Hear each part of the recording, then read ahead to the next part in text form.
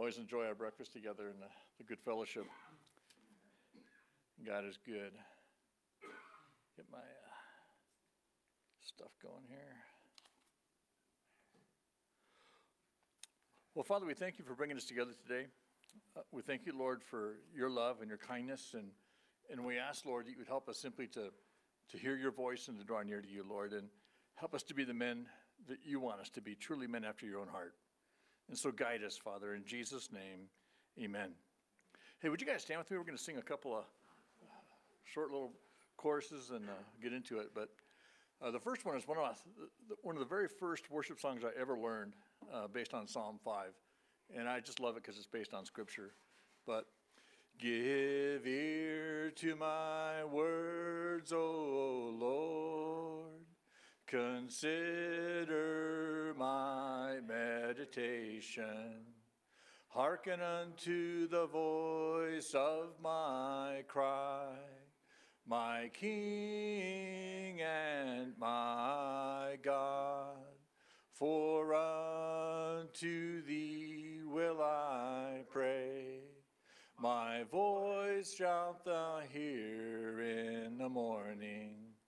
O Lord, in the morning will I direct my prayer unto thee and will look up. One more time. Give ear to my words, O Lord. Consider my meditation. Hearken unto the voice of my cry, my King and my God. For unto thee will I pray.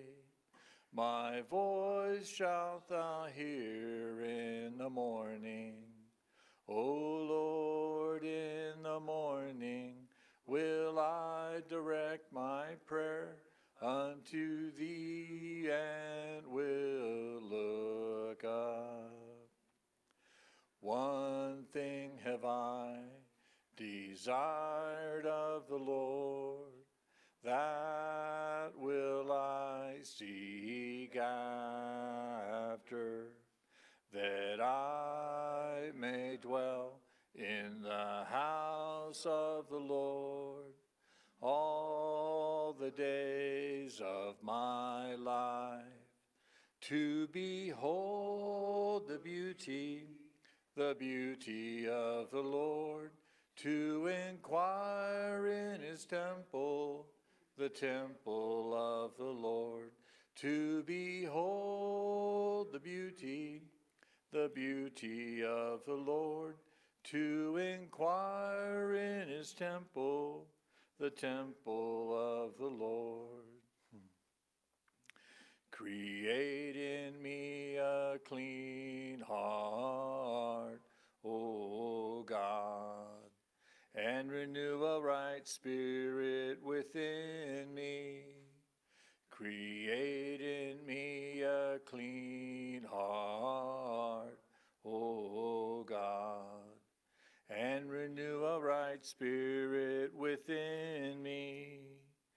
Cast me not away from thy presence, O Lord, and take not thy Holy Spirit from me. Restore unto me the joy of thy salvation and renew a right spirit within me. Create in me a clean heart, O God, and renew a right spirit within me. Create in me a clean heart, O God and renew a right spirit within me. Cast me not away from thy presence, O Lord, and take not thy Holy Spirit from me. Restore unto me the joy of thy salvation and renew a right spirit within me. I love you, Lord, and I lift my voice to worship you, O my soul, rejoice. Take joy, my King, in what you hear. May it be a sweet, sweet sound in your ear. I love you, Lord, and I lift my voice to worship you, O my soul, rejoice. Take joy, my King, in what. Lay it be a sweet, sweet sound in your ear. Gracious Father, we're grateful to be here today. We're grateful, Lord, to, to gather together, Lord, and just to sing your praises and to, to commune with you. And Lord, we ask that you would speak to our hearts today, that you would strengthen us as men, Lord, to serve you and to please you, and that truly we would be men after your own heart. Have your way in us this morning, Father. Speak to us, we pray. In Jesus' name, amen.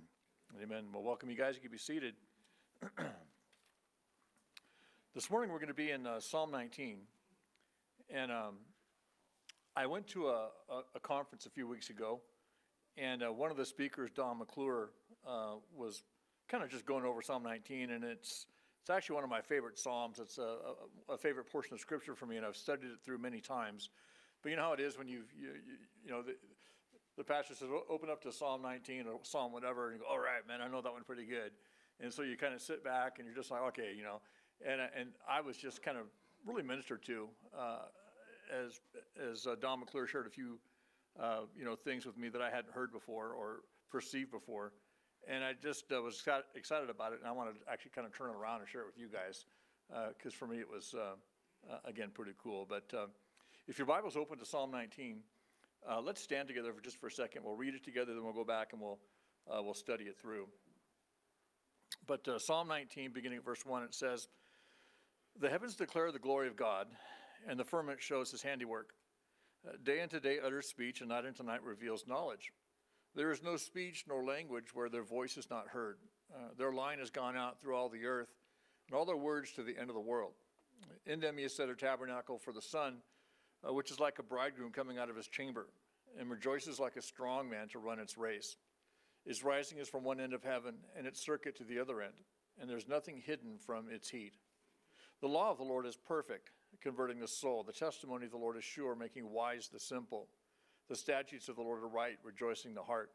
The commandment of the Lord is pure, enlightening the eyes. The fear of the Lord is clean, enduring forever. The judgments of the Lord are true and righteous altogether.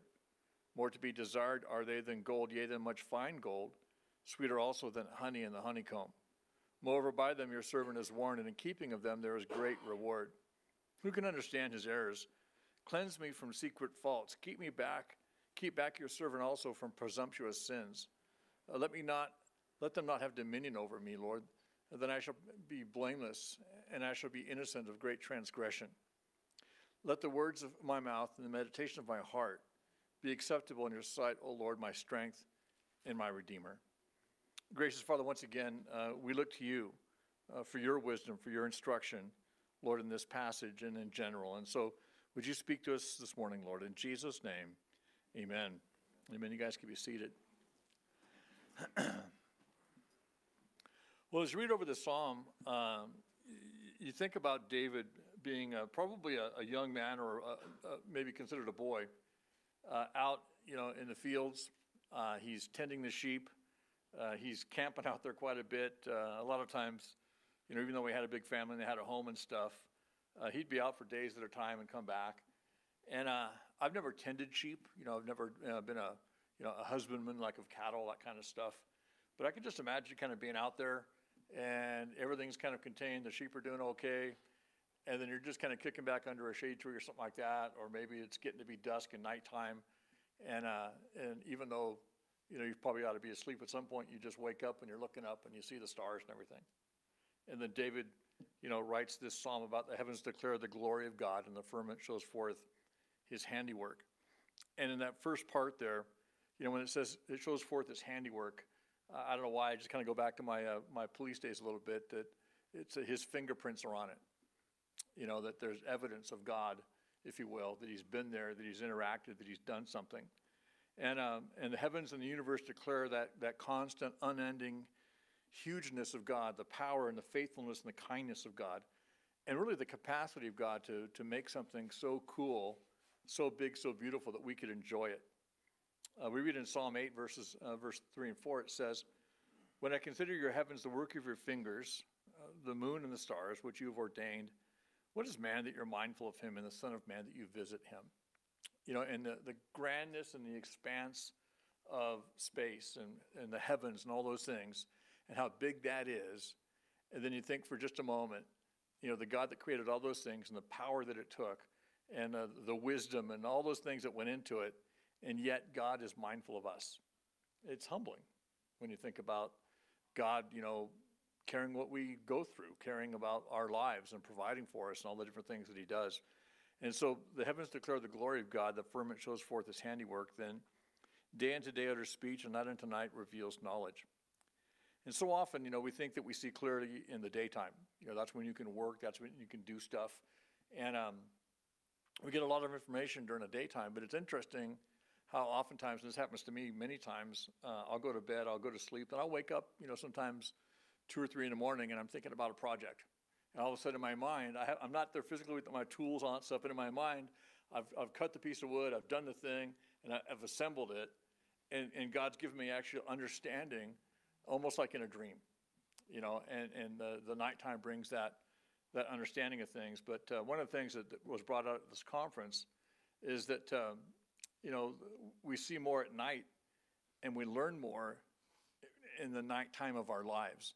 It's the dark times, it's the, the hard times, it's the crisis, the things that we go through, the, the trials that we go through at times that seem to teach us the most about who we are in our relationship with God.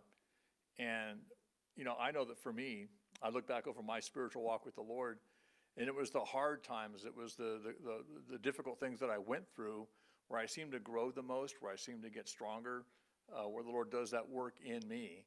And, uh, and it's not always the easy times, uh, but uh, in those dark times, and like at night unto night reveals knowledge. And then in verse 3, there's no speech, no language where their voice is not heard. Uh, their line has gone out through all the earth, and their words uh, to the end of the world. And, um, you know, the, their line has gone out. I think about the, uh, a plumb line or a measuring line or a measuring tape, whatever that standard is. And as, I, as I look at this, uh, especially as you get later on when it starts talking about the, the law and the testimony and the statutes and stuff. Uh, but their line is the, um, the, the measuring line or the, um, the standard, if you will. And what I've discovered in my life, and I pray that you have in yours as well, is that God's word is that measuring line. God's word is that standard. You know, that we gauge everything by that.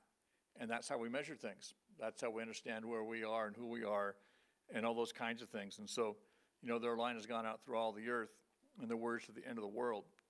But as you put all this together, as David is kind of laying this out, you know, um, today when we want to navigate, I mean, I've got a, uh, a, GPS thing on my, my truck. You know, it's got a little map that I follow around at times because I don't always know where I'm going. And, uh, or if I, you know, old school, I've got a, a, a, whole, a little box in my center console that's got all these maps. I ought to get rid of them. I haven't touched them in years but uh, you know, a map of the city of Susanville, a map of Portland, a map of you know L.A. and all that kind of stuff. And you look at these these these maps. You know, cartographer at one point sat down and drew them all out.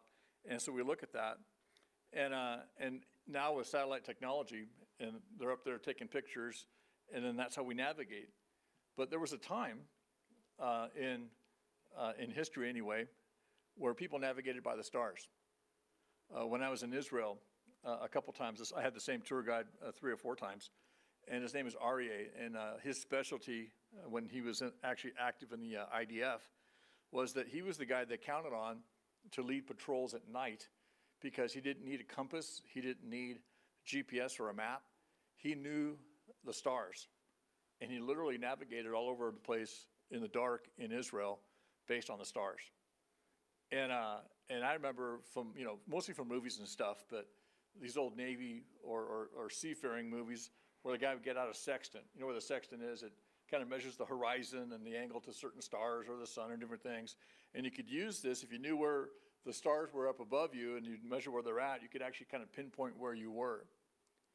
Today, most people navigate through life looking down, looking down at the map, looking down at the world, looking down at stuff. But if we really want to know how to get to where we want to go, we've got to look up. If you want clear direction, we need to look up. One of the things that was pointed out uh, at one point to me was that the heavens pretty much stay the same. I mean, you look up and there's the, the, the star patterns, and I'm not an astronomer by any stretch. I mean, I can figure out what the Milky Way is, and that's just about it. Uh, you know, I wish I knew more about astronomy, but uh, the heavens stay the same. But when you look down, the earth changes. And things are changing down here all the time. But I think about even Noah's flood. I mean, it started off looking one way. Then after the flood, God pretty much rearranged the whole thing, and the topography completely changed. You know, I read my Bible about like the Garden of Eden, and you start thinking, oh, and use some of the same names, the River Euphrates and the River this and River that, and you go, oh man, you know, and but we don't know where the Garden of Eden was really. They've even though we've got some of the same names, but things have changed quite a bit down here. But when you look up, it's the same. And to me, it reflects even the face of our God, who is the same yesterday, today, and forever.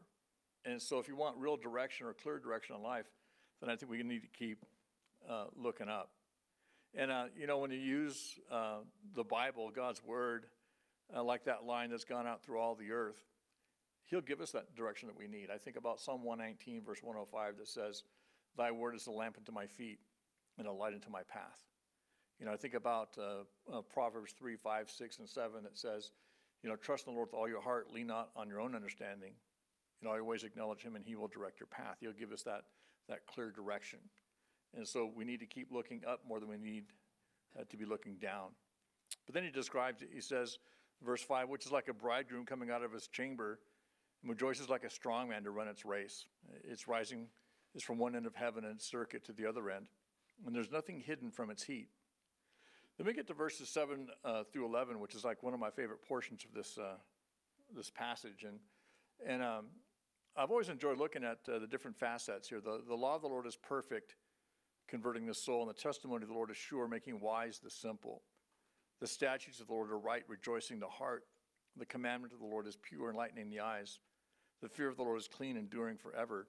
And the judgments of the Lord are true and righteous altogether. And I, as I've studied through this on my own, I've always enjoyed the, uh, the, the different ways of describing God's word. You know, the law, the testimony, the statutes, the commandments, and the fear of the Lord and His judgments. And I don't know if you've seen it. I have, you know, uh, like like I have, but uh, I like the cause and effect aspect of this. There's the law, then it's described as being perfect, and then the result is uh, converting the soul. There's something about the law that converts the soul. And, um, and I think about what the law is. I mean, I, I think about the first five books of the Bible, the, the Pentateuch, you know, Genesis, Exodus, Leviticus, Numbers, and Deuteronomy. And so that's the law. Then it moves on later on to the history books and the prophets and stuff. But there's something about the law. And, uh, and if, if I just take that word law and just think of it as being God's word, is perfect, but it leads to conversion. And I think about what we read, and you've heard so many times, I'm sure, Romans chapter 10, verse 17, that faith comes by hearing, and hearing by the word of God. There's that, there's that miraculous power of God's word to transform a man's heart, to change a man's heart, and to bring him to a place, as it says here, the converting of the soul, and uh, the power of God's word. In uh, Hebrews 4.12, it says, the, the word of God is quick and powerful, sharper than any two-edged sword, piercing even to the division asunder of soul and spirit, and joints and marrow, and is a discerner of the thoughts, and the intents of the heart. But the literally just the power of God's word to change a man's heart. I've seen men that were, you know, beaten uh, severely trying to force them to do something, and their body might be broken, but their mind's going to go, no, I won't do it. you know, stubborn creatures. You know, I've seen people that have been coerced and all kinds of stuff, and uh, and then at the last moment they go, no, I won't do it. You know, because there's a there's a, a, a I don't know if it's a strength in human character or a weakness in human character, but there's just that something that you can't always just force an individual to think differently, to to be differently or whatever. You can compel them physically, but you can't change what's in here or what's in their heart. But God's word seems to do that on a pretty consistent basis. How God's word changes us, and you know we can we can argue with people at times about stuff, and you know you dig in your heels, whatever, and all of a sudden you read a scripture and you go, oh, you know, and I, I, did that, that happened to me just a couple days ago. I was reading through some stuff, some things that I believe for quite a while, and then I was presented with a scripture and went, oh, you know, and my whole paradigm had to change because I had to decide at that moment, am I going to stick with what I think and my opinion about something, or am I going to stick with God's word? And, you know, it's kind of a, a given that God's word's going to reign supreme. But that aspect of the law, converting the soul. Well, I've always seen this as you go through. The next thing is the testimony of the Lord is sure, making wise the simple. And I think about the testimonies. What is that? I know it's another description of God's word in a way, but it's also specific. Think about the testimonies that you read about in the Bible. I mean, the, the first one I can recall offhand uh, was the testimony of Abram. You know, as God called him out of the Ur of the Chaldees, uh, you know, he, he goes, he leaves his place where he's comfortable with his family. He goes out as God leads him, and then God proves himself faithful along the entire journey. Eventually, he surrenders to God, or, you know, he believes God. God accounts it to, right, to him as righteousness, and then uh, he changes his name from Abram to Abraham. And then he continues in his trek, you know, and, and as he grows. And I think about Joshua and so many of the other characters uh, that we read about in the Bible and the testimonies of their lives. I think about Samuel, you know, being consecrated to the Lord as a child and, and, and being really kind of pretty ignorant of God in a certain sense. And when God was calling him to him and, you know, waking him up in the middle of the night, he kept running back to Eli. Yes, sir. You know, what do you want? And he goes, hey, next time you hear that, say, Lord, speak, your servant is listening. And that began Samuel's dialogue with God to the point where none of Samuel's words fell to the ground. And that Samuel was the man that brought the word of God back to the nation of God. And I just, I just love reading about his life and the testimony of his life. And so there's all these testimonies that are contained in God's word, and, it, and they're described here as being sure. But as you, as you take heed to these things and learn the lessons that they're learning, then it says that it'll make us wise. It makes the simple wise. I say that we're the simple. Okay. Uh, I, I, just kind of presume that, that we're the simple ones. And, but he'll give us the wisdom, you know, that he wants us to have. And then when you get to the statutes, uh, verse 8, uh, again, another uh, description of God's word. The statutes of the Lord are right, rejoicing the heart. And, um, and when he says the statutes of the Lord are right, it's almost like saying they're righteous. You know, they're perfect. There's nothing wrong with them. And, um, and so you, you, you, begin to discern well, what are the statutes of the Lord. And, and to me, that's some of the do's and the don'ts. God says do certain things. He said don't do certain things. And, and when you abide by that, as you, as you see that as you're going through, it's like, okay, I want to be pleasing to God. You know, and, and there's a few verses in the Bible that say, and this is well pleasing to the Lord. Well, those are the things you want to focus on and do. But those statutes that, that are recorded for us that are, are right, rejoicing the heart, then the commandment of the Lord. I mean, there's some things he tells you flat out, do this or don't do that. You know, and, uh, and there are those gray areas at times. There's those things where we have the ability to discern or, or, or degree of liberty. But then you get down to the commandments, and again, this is just another, you know, description of God's word. But there are parts of God's word that are there's no wiggle room. You know, there isn't a, a, a place in, as an example for liberty in that subject or the other, because God's commanded us certain things. But the commandments of the Lord are pure; they're holy, enlightening the eyes. And then the fear of the Lord is clean, enduring forever. And so you you, you think about these things, and as I, like I said, I see the cause and effect between what's described as God's word, like the law or the testimony, and then there's a description of it, like you know, it's it's perfect, or it's sure, or it's right, um, or it's pure. But then there's the effect every single time, and so I've, that's the thing I've focused on over the years. But what the Lord showed me while I was at this conference with, is that there's a progression here that I had not recognized before, and it blessed me when I finally recognized it. When it says the law of the Lord is perfect, converting the soul, there is that impact of God's word that leads us to salvation. There's that aspect of, you know, our soul is converted. It changes from what it was to what it now is, you know, and, uh, and, and God gives us this, this ability at this point that we get, we get saved, we're converted. But then the testimony as you, as you continue. Now you start off in the law of the Lord, which is perfect, and you end up getting saved, getting converted. But as you continue to walk with Him, you get to the testimony. Begin to read your Bible and understand what's going on in the lives of the people that are described in the Bible. And, and the testimony of the Lord is sure, but now it makes us wise.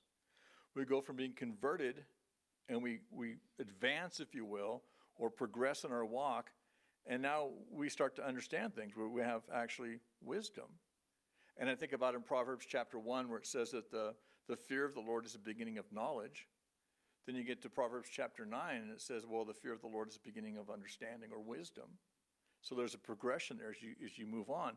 And here you go from conversion now that you're moving on to wisdom. But if you continue in God's word to the statutes of the Lord, which are right, then it says that it rejoices the heart. And so you go from salvation to wisdom to rejoicing because all of a sudden you realize what you've got in your hand. I mean, have you ever been there where you've had something and you didn't realize the value of it? Then one day your eyes were opened up and you realize, wow, I've got something really valuable here. And, and you realize as you go from being saved, you have that initial dose of wisdom or understanding, and then now you're rejoicing uh, in your heart because you realize, I don't deserve this. I deserve to, I, deserve punishment. I deserve death and destruction. But by the grace of God, you know, I am saved. And you begin to rejoice just in that. But as you're in that place of getting saved and, and, and becoming wiser in the word and rejoicing because you're recognizing what's, what you have in your hands, then you, you advance still, you continue in God's word to the commandment, which is pure, and it opens your eyes. And all of a sudden, your eyes are open to things that they never were before. But what I'm trying to kind of point out here is there's this progression in our spiritual walk and hopefully in our maturity in the Lord that we go from simple salvation, if you will, to wisdom, to rejoicing, and now our eyes are open to all kinds of stuff. And it's amazing when you've got the Holy Spirit living in you and the discernment that He gives us that all of a sudden we understand what's going on around us, even in the world. We understand the news better. We understand when people are talking to us and they're getting upset about stuff, you know, or they're in the world and they're, they're you know, you understand your, your, your supervisor at work or your subordinates, whoever you're dealing with, because you realize that, you know, they're operating on a certain level. They're operating maybe in this world as non-believers or they're, they're subject to these different influences and stuff, the, the lies and the deceit that's out there. And all of a sudden, your eyes are opened to things that they weren't open to before. I, um, I've been getting educated about um, like the, the vaccines and the shots and a whole bunch of different things. And, and, and, and that's just one subject. There's so many things out there, even politics. I used to think that there were good guys and bad guys in politics. I've come to realize it's mostly bad guys. you know, there's a few saved Christians out there that are trying to do the right thing, but there isn't anybody, you know, on either side of the aisle, so to speak, uh, that really has our interests at heart. It seems like everybody's pretty much just finding an office, but your eyes are open to certain things. I don't mean it to be, you know, in, entirely negative, but your eyes are open. But then as you continue into what's described in verse 9 as the fear of the Lord, which is clean, then he says, uh, enduring forever. And, uh, and what I'm getting at is that once you get saved at conversion and once you be, start to that trek on wisdom in verse 7, and then you start to rejoice and then your eyes are opened, that leads to endurance. And that's one of the things I think that we need a lot in Christianity today is endurance. It's, you know, enduring to the end. As I, as I first got saved, I'll be honest with you, I wasn't really all that aware of a lot of the people around me. When I first got saved, uh, like a little, like a two-year-old kid, you know, it was all about me. And I, I, I was glad to be growing in the Lord. I was glad to be saved. Uh, I was glad to be learning about my Bible and, and my Lord and, and growing in my relationship with Him. But honestly, I was so, so focused on that for a season, I wasn't looking around that much. I just knew that there were people around me that were saved. I knew that people had been walking with the Lord for a long time. There were other fairly new believers around me and that kind of thing. And, um, and I wasn't really so, like I said, aware of what was going on around me. But after a little while, uh, I began to look around more. And uh, I realized that there was people I can have fellowship with. There's some that I can't. There's these old saints that have been around forever. There's some fairly new guys uh, like myself and all that. But at, over time, as, uh, as the Lord has given me the, uh, the mindset of, uh, of, of ministry, you begin to look around and you realize I look back to when I first got saved and how many of those other younger believers are still around. And it's, it's kind of hard. The guy that actually was instrumental in leading me to the Lord uh, fell away from the Lord about five years after I, I came to know the Lord. And that was one of those things that kind of scared me a little bit. I, I watched this guy that was uh, influential in my life. You know, all of a sudden, he kind of fell away from the Lord to get off in some weird doctrine and stuff, and then just off he went. And it's like, wow. It's kind of like when my mom passed away when uh, uh, she passed away when she was 36. I was uh, I was uh, 18 years old at the time, and it was a bummer when it happened. But I remember when I started turning like 35, you know, 32, 33. I was approaching her age when she passed away, and thinking, "Will I live past my mom's age?" It's just a weird thing, and I, and, and I've thought about different people I've met in the Lord over the years, because it doesn't seem like as many people at times endure to the end. They get sidetracked, you know, through different things. And, uh, and what I see here is the need for endurance is really big right now. Uh, we're going to be challenged in our faith. Well, I think I've harped on this a little bit over the last six months or a year, that there's going to be a lot of challenges. There are a lot of challenges to our faith right now, and and whether it's uh, you know pressure from the workplace, uh, you know to get vaccinated or not, uh, the the animosity towards Christianity in general, you know, the, the attempt possibly, they're talking about like another shutdown now and, you know, will they shut the churches down? We don't know what they're trying to do. But there seems like there's just a lot of pressure against us as Christians in general, and we need to endure. Because Jesus tells us in the book of Revelation and also in, in, Matthew's gospel, blessed are those who basically who endure to the end. It isn't that you ran, ran half the race. You don't get a reward for running half the race. and so we need to be kind of focused on longevity, if you will, you know, being like a long distance runner. And what I, what I saw in this, and it just kind of blessed me, was the progression in the maturity of the believer as they started off. Again, um, the law of the Lord is perfect, and so it ends up converting their soul. And the testimony of the Lord is sure, making wise the simple. And so you, you, you go from conversion to, to wisdom and then to rejoicing. And, and, I, and I think these are things, by the way, you don't like check off one box, move forward, and leave the other thing behind. I think it's supposed to be kind of cumulative as you move along. In other words, you're, you're glad to be saved, you're converted, you don't stop being converted, but then you gain wisdom, and then you gain uh, the rejoicing heart, and then your eyes are opened and, um, and enlightened, if you will, and then basically you, you, you, settle into that endurance. When I was uh, running cross country uh, about 120 pounds ago. Um, I remember starting off in my training, we, we'd run five miles a day, we'd run 10 miles a day, and we'd practice like that just to run a two mile race. But as you got into the race, there was that, always that initial, when you, when you get started, there's that, uh, the adrenaline, there's the guys all around you, all that kind of stuff. And so you tend to want to run to the head of the pack, you know, and get out there somewhere. And then, uh, but you can use a lot of energy to do that because everybody else is thinking, I don't want to let so and so pass me, you know. And so you got all these guys that want to be passed. They want to get it in the front third of the pack at, at the minimum. So it quickens the pace of the race. And uh, but at some point in that race, you kind of settle into your race pace. You, you settle into your stride, and and that's kind of what you maintain through the majority of the race. And then when you get to the very end, uh, you, you kick it in, so to speak. And, and basically, that was you, you go from your you're settled into race pace, what's been working for you for the last you know 20 minutes you've been running the race or whatever, and, and now you get into the point where uh, it's that final 100 yards, 200 yards, 400 yards, quarter mile, and uh, you kick it in. And basically, whatever you've got left, you throw it in the bucket, man. And, uh, and whatever's left, you just run as hard as you can. And then somehow or another, you end up across the finish line with your lungs about to explode, but you, you've, you've, you've done as good as you could. And I think in Christianity, for the most part, a lot of Christians start off out of the, from the, from when the gun goes off, it's a sprint. And they sprint, sprint, sprint, and pretty quick they poop out because it's a, it's a marathon. It's not a 100 yard dash. And even in a two mile race, there's got to be kind of like that strategy.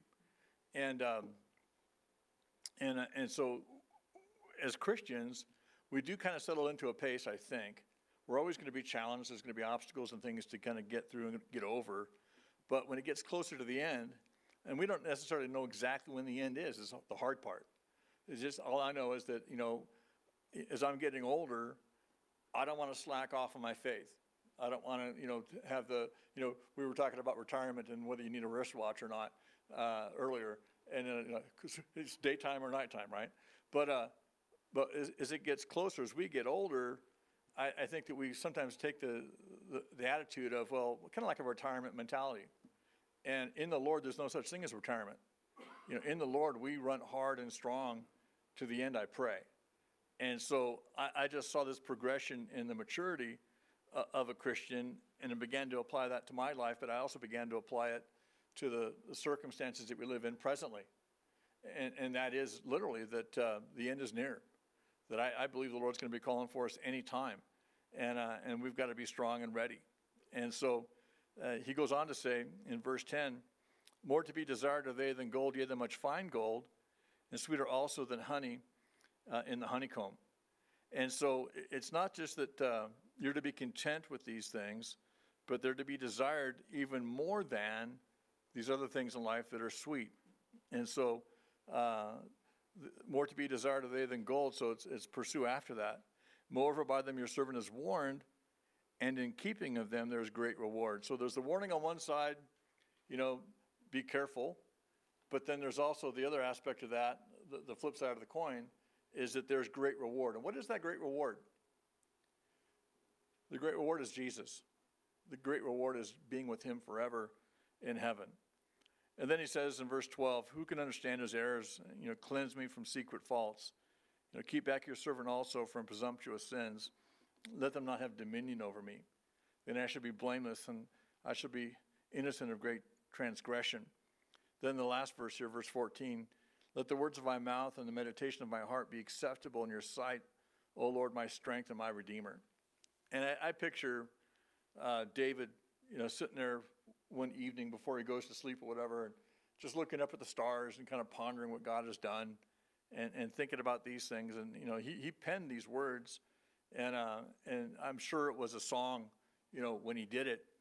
And he's saying, Let the words of my mouth and the meditation of my heart be acceptable in your sight. He's singing the song to the Lord and saying, Lord, I pray that this is pleasing to you, you know, and, um, and, and relates to God as his uh, strength and his redeemer.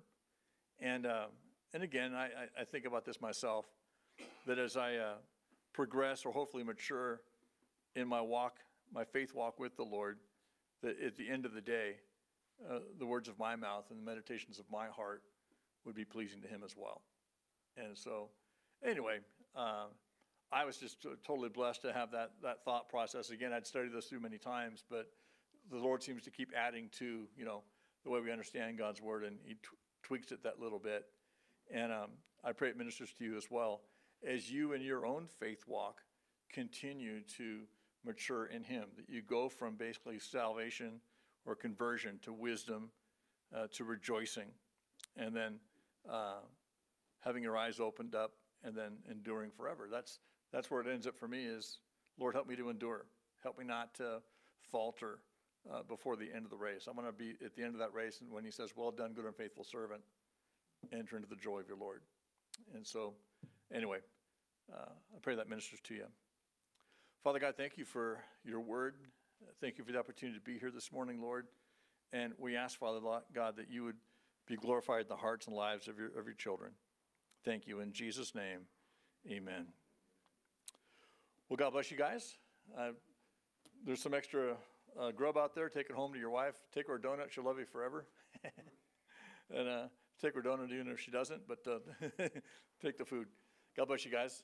And this will be the, um, because of the holidays coming up and stuff, uh, we're not going to meet again for an FMO until uh, January. Yeah, I know, I know. Well, I just watch it every year, how it kind of, you know, people get busy and stuff and it kind of tapers off. So we've just been doing it that way. But uh, the men's study on Tuesday night's been going really well. Uh, we kind of switched formats a little bit where we're still reading through the book, but we're not doing the workbook. And we're doing a, uh, a, a verse by verse study through uh, First Thessalonians, uh, just kind of applying what we learned from the book uh, to that study.